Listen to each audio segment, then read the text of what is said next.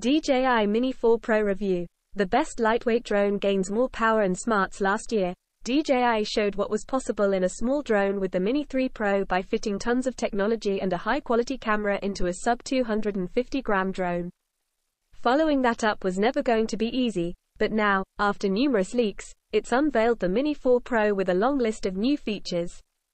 Aside from one improvement, the camera is largely the same. However, it has new omnidirectional obstacle sensors that eliminate the blind spots on the Mini 3 Pro. It also comes with a new feature called Active Track 360 that lets you program camera moves when tracking a subject. Small drones are the best way to track fast-paced action, as they're maneuverable and less prone to damage when crashing. With all the improvements, the Mini 4 Pro is better and safer at that than its predecessor, at least on paper. Now, Let's find out if it lives up to that in the real world. The Mini 4 Pro is still under 250 grams so it can be flown without a license or registration in many regions, but it has subtle design changes all around. The four forward and rear-facing sensors are now placed so that they can see to the sides as well, and the body is a bit more streamlined. It has larger cooling vents, slightly smaller rear arms and new landing feet at the front. The camera gimbal shield is smaller and easier to put on, and it has a new guard that protects the propellers when it's stored. As before, the gimbal tilts up 60 degrees and down 90, and the camera flips 90 degrees to give you full vertical resolution for social media. At the rear is a micro SD port, and the Mini 4 Pro has 2 GB of internal storage for emergencies.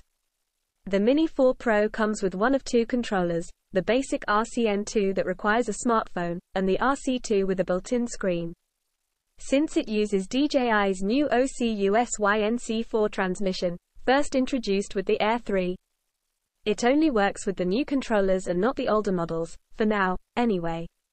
You can buy it with a $55 ND filter set for sunny days, which I'd recommend if you can afford it. DJI also offers a wide-angle 18mm equivalent lens attachment, $40, but it has significant barrel distortion and can cause focus issues. The drone also supports DJI's Lightcut, an editing app that lets you generate quick videos for social media. As DJI says, it allows one-tap generation of captivating videos by merging active track, master shots, and quick shots footage, while automating sound effects and more. It also works wirelessly, so there's no need to download footage to your smartphone. It only works with the new controllers and not the older models, for now, anyway. You can buy it with a $55 ND filter set for sunny days, which I'd recommend if you can afford it. DJI also offers a wide-angle 18mm equivalent lens attachment, $40, but it has significant barrel distortion and can cause focus issues. The drone also supports DJI's Lightcut, an editing app that lets you generate quick videos for social media.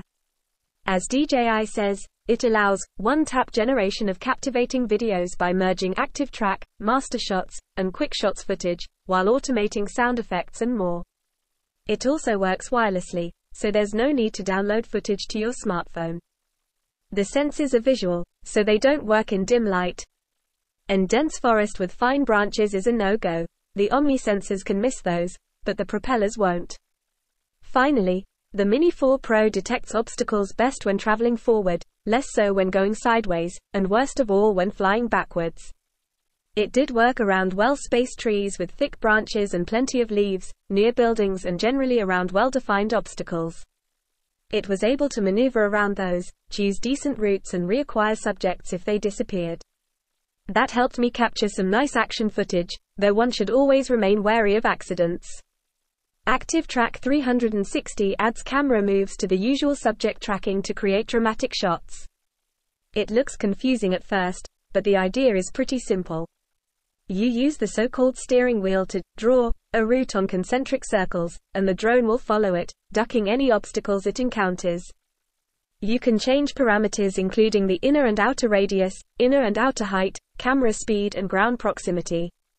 That makes it possible to get a wide variety